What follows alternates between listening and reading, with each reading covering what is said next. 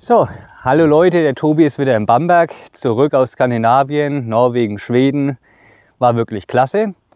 Und heute habe ich mir gedacht, mache ich mal äh, ein etwas ausführlicheres Video über Beile bzw. Äxte, wie man sie verwendet, auch dass es relativ sicher ist, die Verwendung.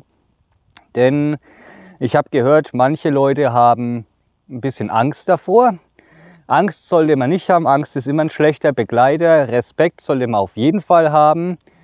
Und wir fangen jetzt einfach mal mit so grundlegenden Sachen an. Gehen dann über auch, ähm, wie spaltet man Holz, äh, wie macht man Holz klein, wie macht man relativ einfach Anfeuerholz, ähm, einen Baum werden wir wahrscheinlich nicht ummachen. Also hier meine Obstbäume oder unsere Obstbäume, die bleiben hier definitiv stehen. Also ich hau jetzt nicht für euch hier bloß, äh, um es zu sehen, einen Baum um. Aber ja, also fangen wir einfach mal an. Ähm, Axt bzw. Beil, wo ist denn da der Unterschied? Also man kann sich eigentlich so grob merken, alles was ich hier mit einer Hand benutzen kann, auch vom Kopfgewicht her, ist als Beil anzusehen. Der Übergang, legen wir die mal kurz hier an die Seite, der Übergang ist aber relativ fließend. Zum Beispiel sind wir jetzt hier bei einer, die habe ich vom Tobias bekommen. Sieht man, die ist eigentlich äh, so gut wie unbenutzt, sieht man am Stiel im Gegensatz zu diesem Stiel hier, ne, der ist halt schon ziemlich, ja, dreckig, benutzt halt. Das hier ist dann so der Übergang zwischen Beil und Axt. Also ich kann es noch vom Kopfgewicht her auch noch mit einer Hand betätigen. Eine Axt könnt ihr euch merken, braucht ihr ungefähr, braucht ihr eigentlich zwei Hände. Ne, das ist eigentlich so der Unterschied, wo man Beil und Axt. Und hier sehen wir schon, hat jetzt Kopfgewicht äh, 1,2 Kilo. Kann ich zwar noch heben, aber man sollte immer eine Hand hinten haben. Also da wird es dann schon schwer, das ganze Ding also mit einer Hand hochzuheben. Also das hier ist definitiv dann eine Axt. Dann gibt es noch ähm, Spaltäxte oder auch ein Spalthammer. Ja, man sieht schon, das ganze Ding ist hier massiver. Das äh, benutzt man dann, um wirklich dicke Stämme auseinanderzuspalten, wo man wirklich auch das Kopfgewicht braucht, ähm, damit man selbst nicht so viel Energie reinstecken muss und halt viel das Werkzeug machen lässt. Ähm, die ideale Axt bzw. Beillänge ist eigentlich, jeder Mensch, wir haben eine Anatomie und die beste Axtlänge also vom Stiel her, vom Schaft her, ist, wenn sie jetzt genau bis hierher gehen würde. Also die wäre hier jetzt ein bisschen zu kurz. Weil ihr müsst euch das mal so vorstellen, wir Menschen, wir sind die Maschine und die Maschine braucht das richtige Werkzeug mit dem richtigen Hebel, um die beste Kraft auszuüben. Ne, also das wäre jetzt ein bisschen kurz, aber wir sind natürlich auch daran gebunden, was können wir in unserem Rucksack mittransportieren. Ne? Also da muss man dann so ein bisschen Kompromisse eingehen, was nimmt man da mit. Bei der hier, bei der Länge hier sieht man, die wäre jetzt für mich minimal zu lang, aber ist natürlich schon einiges besser als wie hier dieses kurze. Also das heißt, hier würde die Hebelwirkung und die ganze ähm, Wirkung des Mechanismus, den wir, die Kraft, die wir aufbringen wollen, optimal genutzt. So, ähm, wie machen wir jetzt weiter? Also fangen wir erst einmal mit ganz grundlegenden Sicherheitssachen an. Wir legen oder stellen eine Axt, Axt oder Beil wenn wir es hinstellen, immer mit dem Kopf nach unten hin. Ne? Also nicht anfangen, dann an irgendeinem Baum das Ding hier so rum hinzulehnen. Kommt der nächste, das Ding kippt um, fällt euch auf den Fuß, ihr habt irgendwo blöd die Hand dazwischen.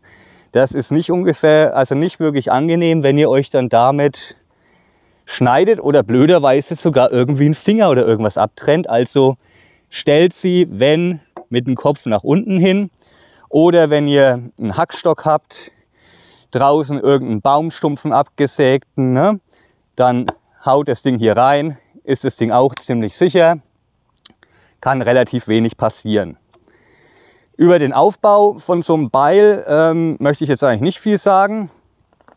Also Schneide, Nacken, Auge, ähm, hier unten die Ohren, also das hier, dieses, äh, das hier sind die Ohren. Ne? Also hier ist die Schulter. Also darüber wollen wir jetzt nicht reden. Wir wollen jetzt schauen, wie benutzt man so eine Axt oder ein Beil auch. Den dicken hier, den brauchen wir jetzt nicht wirklich. Also wir fangen jetzt einfach mal an. Wir haben zum Beispiel schon Holz, das auf einer bestimmten Länge ist. Ob es mit der Motorsäge gemacht ist oder mit der Handsäge, relativ egal. Wir haben auch einen relativ geraden ähm, Schnitt, dass wir das auch schön auflegen können auf dem Hackstock oder draußen auf dem Baumstumpf. Wir können uns das hier schön auflegen. So, ähm, jetzt, weil es hier auch ein bisschen dicker ist, jetzt nehme ich natürlich hier die große Axt. Die tun wir mal alle auf Seite. Und zwar, ihr habt eine Hand immer unten am Griff. Das ist praktisch eure Führungshand. Die andere Hand, die könnt ihr hier oben hinnehmen, wenn euer Achskopf relativ schwer ist, könnt ihr hier oben hernehmen, um das Beil dann zu heben. Und dann, wenn ihr den Schwung nach unten macht, gleitet diese Hand hier nach unten ganz genau. So, so wie jetzt das Beil steht, so sollte man nicht hacken, weil hier dringen wir jetzt ins Holz ein und hier hinten haben wir aber so viel vom Stiel, was hier einen Schlag abbekommen würde, ist also nicht optimal. Wir würden uns auf die Dauer unseren Stiel kaputt machen. In die Mitte hauen ist schon besser, sieht man. Hier dringt unser Kopf ein. Hier hinten, hier bei der haben wir jetzt hier sogar einen Schutz dran. Aber es würde noch immer, wenn es blöd läuft, einiges dieser Stiel hier abbekommen. Also versuchen wir hierher zu hauen, um hier praktisch durchzukommen. Wichtig ist dann auch, ähm, der Hackstock ist auch ein bisschen hoch, weil da werden auch ähm, Hühner und so der Kopf abgehackt, dann ist halt die Höhe hier angenehmer zum Arbeiten. Fürs Spalten wären vielleicht so 10, 15 cm kürzer, ganz angenehm. Auf jeden Fall Beine breit machen, dass wenn ihr hier mal vorbeihaut, ne, dass ihr euch nicht hier in die Beine hackt, sondern dass es hier dazwischen die Axt oder das Beil durch kann.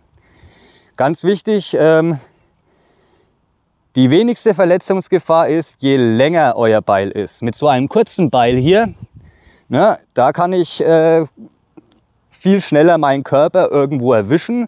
Während bei diesem hier sieht man ja, haben wir das Ganze, wenn wir es hier hinten nehmen, viel weiter weg vom Körper. Also kurze Beile sind um einiges ähm, gefährlicher. Naja, dann ist auch wichtig, wenn ihr hier runterkommt, dass ihr hier gerade aufkommt. Nicht, dass ihr hier anfangt, so reinzuhauen, denn dann gleitet euch hier das, die Axt weg. Wenn ihr hier verkeilt, geht sie natürlich hier weg. Also schauen, dass man hier schön gerade runterkommt. Der Achskopf ist jetzt nicht so schwer, dass ich jetzt hier oben den nehmen muss, um ähm, Schwung auszuüben. Zack, Beil steckt, Axt steckt, haben wir noch gerade gelernt, ist kein Beil. Wir sind hier eingedrungen. Jetzt äh, haben wir natürlich hier unten das ganze Gewicht dran. Jetzt nehmen wir das Ganze und versuchen natürlich Energie zu sparen und mit dem Eigengewicht vom Holz das Ganze zu spalten. Also wir schwingen das jetzt hier einmal rum, hauen das auf den Nacken, hier auf den Nacken und das Ding ist auseinander. Ja, also ihr habt auch gesehen, ich habe relativ weit hier hinten reingeschlagen, damit wir unseren Stiel hier schön sicher haben. So, Jetzt mache ich euch mal aus, weil jetzt gehen wir dann zum nächsten äh, Ding. Das ist jetzt dann so kleines Anfeuerholz machen und wir schauen uns das alles mal an, wie das relativ einfach vonstatten geht. So, Tobi ist wieder da. Wir machen uns jetzt praktisch Anfeuerholz. Also das ist jetzt dieses Stück, was wir gerade von der Birke hier rausgetrennt haben. Wenn ihr euch diesen Schwung nicht traut, dann könnt ihr euch auch so ein Schlagholz hernehmen. Nehmt, nehmen wir halt jetzt hier das hier, setzt es hier an und haut hinten auf den Nacken drauf. Und es ist relativ sicher auch, dieses Vorgehen. Ne, also das ganze Ding hinstellen, Beil ansetzen und hinten auf den Nacken geschlagen. Zack. Und das ganze Zeug ist durch. Ne? Also wenn ihr euch diesen Schwung nicht oder noch nicht zutraut, macht es so auf die Nummer sicher. So, jetzt machen wir uns hier ein bisschen Anzündholz. Also wir haben jetzt schon ein kleines Holz praktisch runter gemacht. Jetzt nehme ich einfach mal hier mein kleineres. Dann können wir jetzt hier ansetzen. Da ein bisschen rein. Na.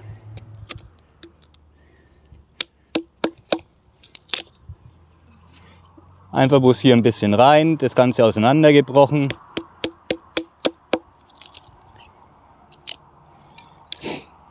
Ne, anstatt immer wieder das Ganze neu anzusetzen.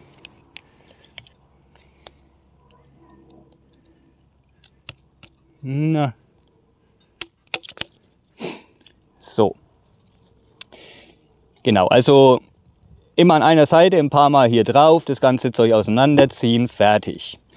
Wenn ihr sowas hier habt und euch ist es zu schmal und ihr habt Angst, es zu treffen oder es kippt immer um, dann nehmt euch einfach so ein ähm, Ding hier, ich gehe mal wieder so rum hin und haltet euch das Ganze hier. Beine wieder breit, damit, jetzt haben wir natürlich die kurze, das seht ihr, können wir uns schnell ins Bein hacken. Zack, hält und wir können das ganze Ding spalten. Ne? Also, hier mit unserer Hilfe gehalten, hineinhacken, fertig. Passiert uns auch relativ wenig, also auch ziemlich sicher. So, jetzt haben wir hier Anfeuerholz. Wir haben, äh, wie man überhaupt sowas äh, spaltet, wo man ungefähr reinhauen sollte. wir haben, dass man, wenn man sich unsicher ist mit dem Schwung, dass man auch mit einem äh, Schlagstock äh, auf den Nacken hauen können. Und jetzt schauen wir uns dann an, ja, ähm, wie wir uns relativ frische Äste oder auch äh, kleine Bäumchen, wie man die relativ einfach ummachen. Und äh, da fällt mir noch ein paar andere Sachen ein. Es wird ein bisschen ausführlicher. So, jetzt bin ich unten am Bach, direkt am Garten. Hier haben wir jetzt einen relativ, also einen frischen ähm, Stängel. Schauen wir uns mal, wie wir uns den am einfachsten abtrennen. Weil, lassen wir mal hier liegen. Wir biegen uns das Ganze hier. So, damit wir hier eine Biegung haben. Und jetzt können wir hier seitlich hinstellen, damit wir jetzt hier praktisch an uns vorbeihauen. Jetzt können wir hier praktisch schön hineinschlagen und die Fasern des Holzes gleiten an der Schneide vorbei. Zack. Ne? Wenn es jetzt nicht komplett durch ist mit dem ersten Schlag, oder ihr habt noch dickere, dann einmal auf die andere Seite rüber und dann von der anderen Seite auch noch mal einschlagen und das ganze Ding ist durch. Jetzt muss ich es aber so machen, weil ich habe keinen Platz auf der anderen Seite. Zack. So. Ja, sauberer Schlag. Also wie gesagt, normalerweise auf die andere Seite biegen. Bloß, äh, ich habe hier keinen Platz. Also, wenn ihr das ganze Ding biegt, könnt ihr genauso mit dem Messer auch machen. Dann in diese Biegung hineinschlagen mit dem Messer und ihr habt relativ einfach auch schon dicke Sachen durchtrennt. Jetzt kommen wir gleich zum Entasten. Bis gleich. So, zurück vom Bach ähm, im Garten. Hier ist jetzt unser abgetrenntes. Ähm, und was als nächstes kommt, ist ja meistens das Entasten. Ne, das Entasten, wir haben ja immer eine Wuchsrichtung. Ich stelle mal kurz das Ball hier hin. Wir haben ja immer eine Wuchsrichtung. Also, wie man weiß, ein Baum wächst von unten nach oben. Wichtig ist, man merkt sich, Holz reißt, wie der Vogel scheißt. Das heißt, wenn wir hier entasten wollen, niemals oder versuchen zu verhindern, so herum. Weil dann reißt euer Holz hier aus. Also immer mit Wuchsrichtung. Ihr stellt euch hin, habt in eurer Führungshand euer Beil. Schaut dann, was hier zum Asten ist. Also hier ist dieser Ast, den ich jetzt hier weghaben möchte. Ich stelle mich jetzt hier weiter vor diesen Ast, damit ich praktisch hier hinter mich schlage. Ja, also somit kann es hier schon mal nicht in meinem Bein. Ne, ich setze hier an, zack, und das ganze Ding hier ist ab. Und so gehe ich natürlich am Stamm entlang. Wenn ich ähm, dicke Äste habe von einem richtig starken Baum und will die entasten, dann ähm, schlagt ihr, drehen wir das ganze Ding mal, jetzt wäre das hier praktisch ein dickerer Ast. Also auch wieder hier hinstellen, schlagt ihr hier hinein, geht nicht komplett durch beim ersten Mal. Dann stellt ihr euch, also er soll noch ein bisschen dicker sein wie das, das ist jetzt trotzdem relativ einfach, breit hin, schlagt euch einmal hier eine Kerbe hinein und dann geht ihr wieder hier hin und schlagt, na, jetzt habe ich, zack. Ja, und das ganze Ding hier, wie man sieht, ist sauber abgetrennt, es reißt nichts aus. So entastet man. Also immer wichtig, hier hinstellen und hinter euch entlang schlagen. Wenn ihr jetzt einen lebenden Baum, der auch stehen bleiben soll, wenn ihr da jetzt irgendwas an Ästen wegmachen wollt, ah, nehmen halt mal hier dieses kleine Ding, es soll ja bloß als Beispiel sein. Ihr müsst dann immer von unten nach oben schlagen und schaut dann, dass hier eure Seiten vom Beil, damit ihr den Stamm nicht verletzt, hier entlang gleiten. Ne? Zack, nach oben, ist ab. Ne? Also ihr wollt den Stamm nicht verletzen, ihr wollt dem Baum nicht wehtun. Immer, dass ihr hier entlang gleitet. Ganz genau. Und immer von unten nach oben mit der Wuchsrichtung, so kriegt ihr schön durchtrennt. Jetzt kommt dann gleich das nächste. Jetzt haben wir unser Bäumchen entastet, haben ja gerade gesehen, wie das geht. Und jetzt kann es ja sein, dass wir den vielleicht anspitzen wollen und uns als Pflock oder sonst irgendwas in den Boden rahmen wollen, um uns einen Windschutz zu bauen, ähm, sondersgleichen. Auch stabiler Untergrund, nicht auf Stein, also auch wieder hier Hackstock oder, ähm, wie ich es jetzt schon ein paar Mal gesagt habe, ähm, auf dem abgesägten Baumstumpf. Dann geht ihr hier mit dem Ball hierher und macht nur immer hier solche Hackbewegungen. Na, spitzt euch eine Seite an, dreht das Ganze, macht es mit der anderen Seite. Der ist natürlich jetzt unten ein bisschen gespalten, aber wie man sieht, relativ einfach, haben wir hier richtig saubere. Das ist jetzt an beiden Seiten angespitzt. Man kann natürlich das auch jetzt dann nochmal 90 Grad ringsrum machen. Dann haben wir eine richtige Spitze, wie wir wollen. Das Ganze dann am besten noch im Feuer, also am Feuerrand gehärtet, damit es hier vorne dann auch richtig schön hart ist, das Holz. Und dann erst in den Boden hineinrammen. Jawohl. So, das nächste ist ich hole mal her, wie machen wir uns so Holz klein? Bin sofort da. Also, hier haben wir jetzt noch von unserem Bäumchen. Hier was, das legen wir uns auch auf unsere Unterlage. Und ihr haut jetzt, wenn ihr es jetzt hier in kürzere Stücken hauen wollt, ihr haut jetzt nicht hier Katzen gerade drauf, weil da ist die Spannung von der Faser einfach zu groß. Also, ich zeige es auch noch mal so. Nicht hier Katzengrad draufhauen, Spannung ist zu groß. Ihr nehmt euch das Ding her, haltet euer Beil so ungefähr im 45 Grad Winkel und das Ding ist abgetrennt. Dann könnt ihr von hinten nachschieben, 45 Grad Winkel, das Ding ist durch, nachschieben, zack, durch. Ne? Also immer so im leichten 45 Grad Winkel und nicht hier gerade draufhauen, weil da ist einfach zu viel Widerstand. Ganz wichtig ist auch immer, eure Axt oder euer Beil soll scharf sein. Habt ihr ein zu stumpfes, dann federt das Ding zum Teil zurück. Jetzt bei so dünnen Sachen nicht unbedingt, aber bei dickeren Sachen zurückfedern ist immer gefährlich.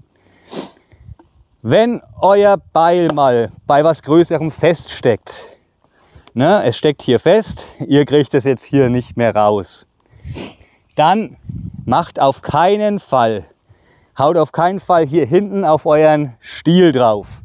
Ne, irgendwann lockert sich das Ding und es kommt euch entgegen und es ist nicht wirklich angenehm. Ihr könnt hier, hier sind die Schultern, hier unten ist das Ohr. Ihr könnt hier links und rechts dagegen hauen, um das zu lockern. Oder ihr macht durch Wippbewegungen, schaut, dass ihr das ganze Ding langsam rausbekommt. Ne? Nur nicht hinten auf euren Griff, auf euren Stiel hauen. Erstens, ihr macht ihn kaputt und zweitens, wenn sich das ganze Ding dann löst, fliegt euch das Ding um die Ohren und das ist nicht wirklich angenehm. Ja, ähm, jetzt schauen wir uns noch an, wie man einen Holzstamm dann durchtrennt. Äh, ich erkläre euch dann noch mal theoretisch, wie man einen Baum fällt, weil ich habe keinen. Ich war jetzt auch mal oben im Wald. Äh, wir haben jetzt keinen Baum hier zum Fällen, aber ich erkläre euch das. Ich glaube auch, ihr kommt eher selten in die Situation, wo ihr mit der Axt ähm, einen Baum fällt, weil die müssen schon euch gehören. Ne? Also ihr könnt nicht einfach irgendwo in einen Wald reinrennen und meinen, ihr haut jetzt da einfach ein paar Bäume um äh, weil das gehört jemandem. Ne? Also nur wenn ihr der Besitzer seid, der Eigentümer, dann könnt ihr das natürlich machen. So, ihr habt euch jetzt äh, euren Baum oder eurem Stamm umgemacht und ihr habt keine Säge dabei. Jetzt wollt ihr hier, anstatt jetzt hier ein knapp Meter Stück, ihr wollt es jetzt hier durchtrennen, um ein kürzeres Stück zu haben. Legt euch das am besten auf, damit es nicht auf der Erde liegt. Dann stellt euch am besten hier hin, dass ihr hier breit die Beine habt. Und dann auch nicht gerade reinhauen, weil da ähm, dringt eure Axt nicht wirklich ein, sondern ihr macht zack, einen Schlag so, den nächsten so. Ein so, so. Ne, und so kommt ihr dann langsam, wir tun mal eins hier weg. So, und so kommt ihr dann langsam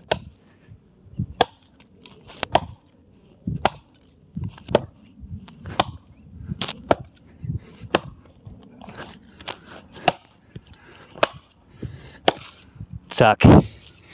Auseinander. So, jetzt habt ihr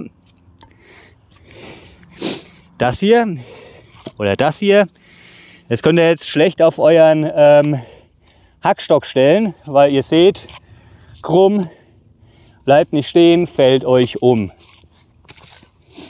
Dann nehmt ihr euch auch eine Unterlage, nehmt am besten das Ding hier, das ist ein bisschen dicker, legt euch das ganze Ding hier hin, auch wieder Beine breit, Und dann,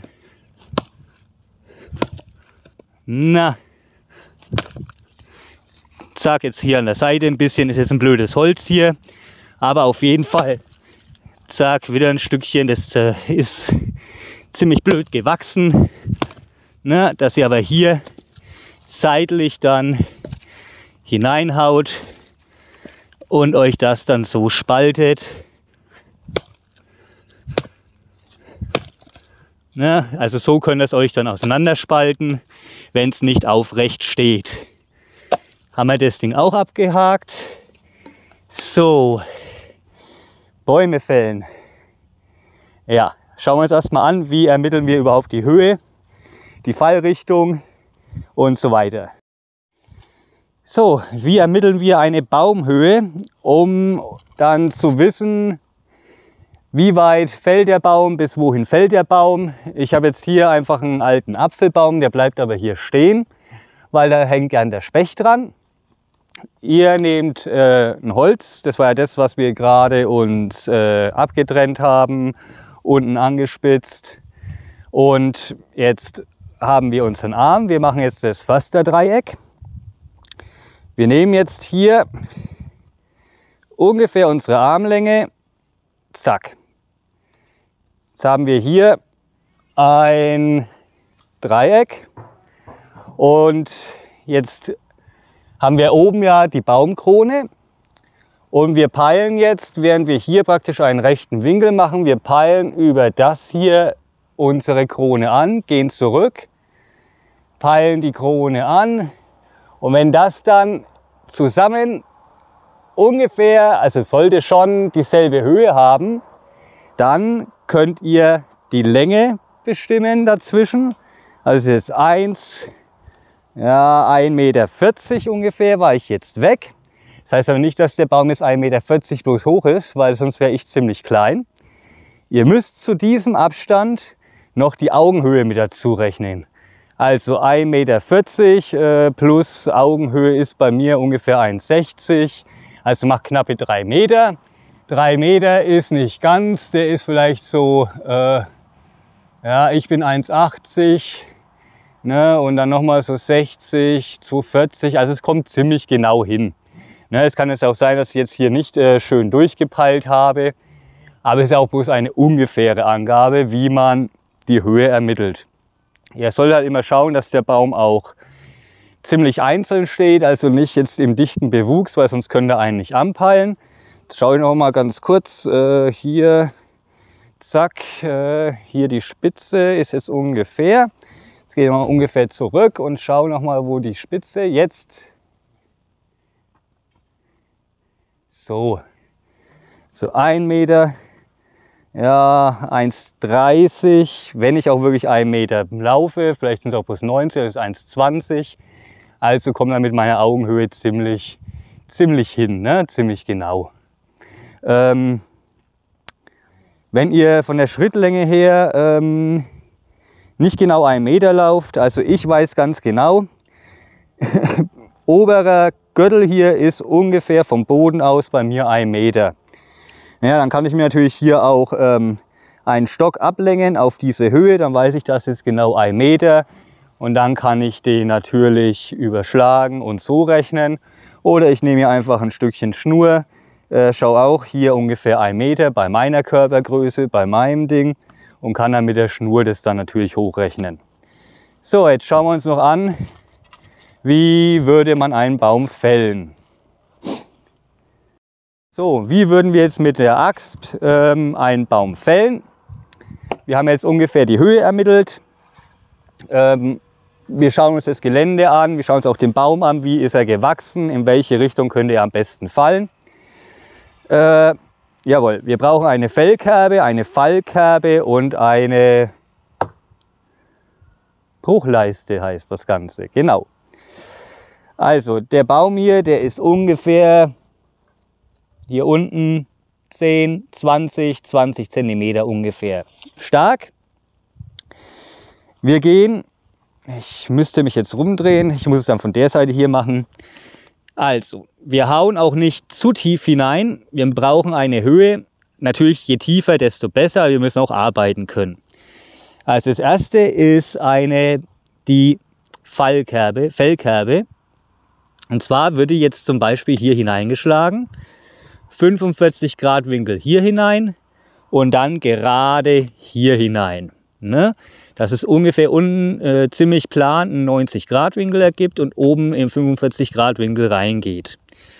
Diese Kerbe macht ihr circa ein Drittel stark. Ne? In diese Richtung soll dann euer Baum fallen.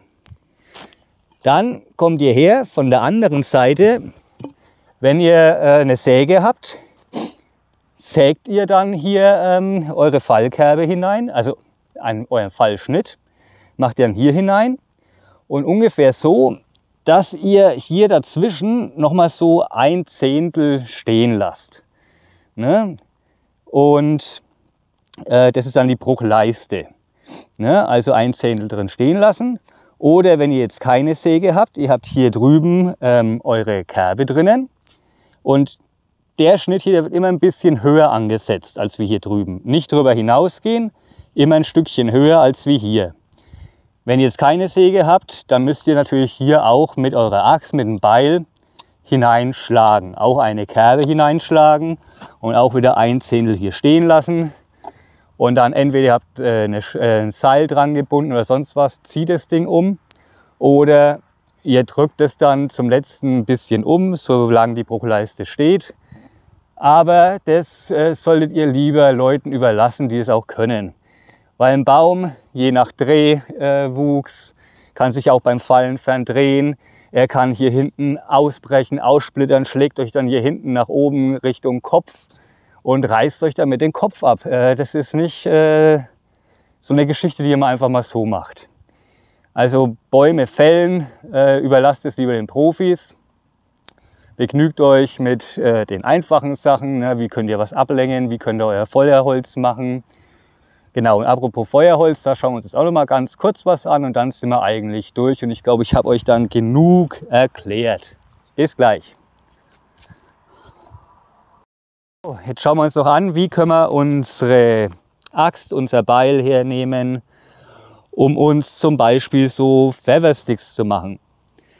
Schlagt euch das Beil hier ein bisschen hinein, damit es schön aufrecht ist.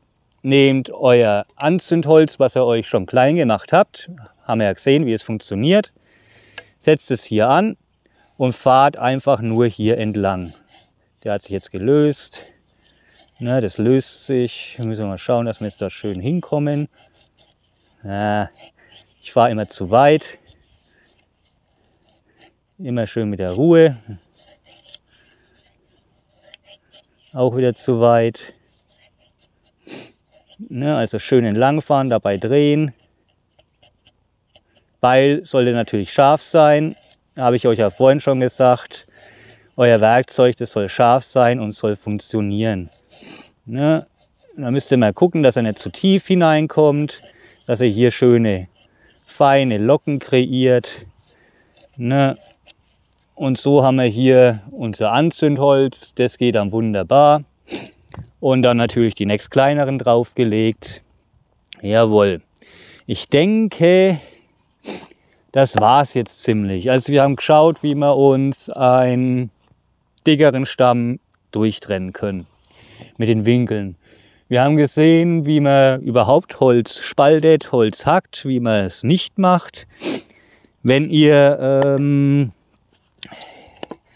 längeres Holz habt und wollt es hier so spalten, ne, haut nicht hier, ihr nehmt ja das Beil eh hier hinten, haut nicht hier hinten irgendwo drauf, weil dann klappt euch hier das Ganze nach unten, jetzt zwickt euch eure Finger ein, schaut, dass er hier an die Kante kommt, schlagt es hier hinein, ein wenig weiter vorne nehmen, ist doch ein wenig zu schwer der Achskopf.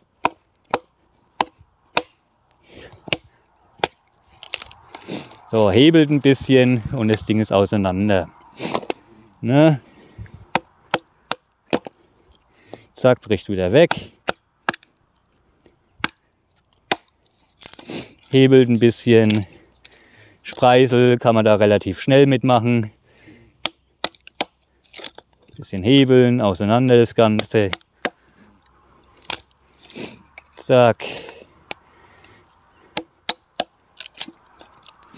Ja, also so kann man sich ziemlich schnell Anzündholz fertig machen.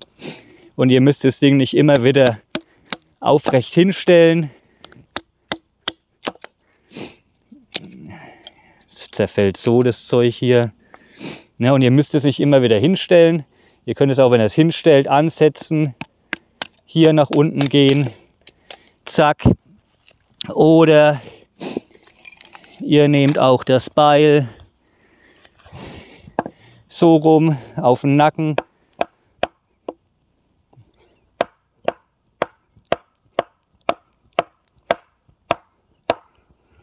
So, habt es festgeschlagen und dann haut er so herum durch. Also es gibt zig verschiedene Möglichkeiten, die sicher sind. Achtet auf eure Beine und vielleicht habe ich ja damit dem einen oder anderen jetzt die Angst genommen. Respekt sollte immer da sein. Ja, wir sehen uns. Euer Tobi. Ciao.